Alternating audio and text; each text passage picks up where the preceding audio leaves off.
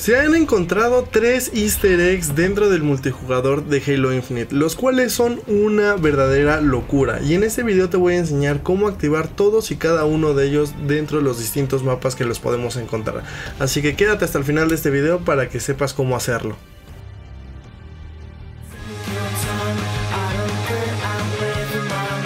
Bueno, los voy a poner un poco en contexto. Para poder hacer estos easter eggs, no necesariamente tiene que ser una partida en multiplayer. O sea, nos puede salir, también lo podemos hacer en partidas personalizadas y lo podemos hacer nosotros mismos. Ya que esto son mecánicas dentro del juego. Les explico.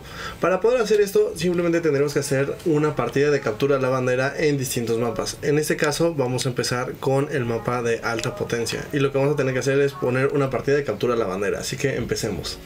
Una vez que ya estamos dentro de la partida, tendremos que ser forzosamente del equipo azul. Y lo que vamos a tener que hacer es ir por la bandera roja y capturarla. Así que yo se los pongo en cámara rápida.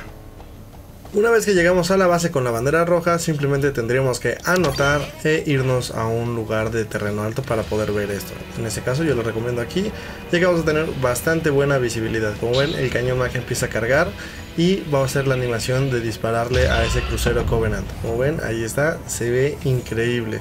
Es la manera que se puede activar en este mapa. Ahora les voy a enseñar en los demás mapas cómo es que se puede hacer.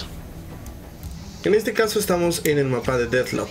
Es exactamente lo mismo, captura la bandera y tenemos que ser del equipo azul. Vamos a tomar la bandera roja y la tendremos que entregar. Una vez que la entregamos, vamos a ver que la animación va a comenzar. El cañón empieza a cargar y va a disparar.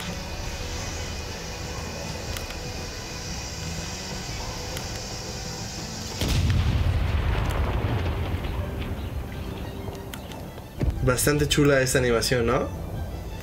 Y por último, el mapa fragmentación. Vamos a hacer exactamente lo mismo. Tenemos que ser parte del equipo azul, tomar la bandera roja y entregarla. Una vez que la entregamos, vamos a ver que la animación va a comenzar. Así que tomemos tantita distancia para empezar a ver cómo es que hace toda la animación la base.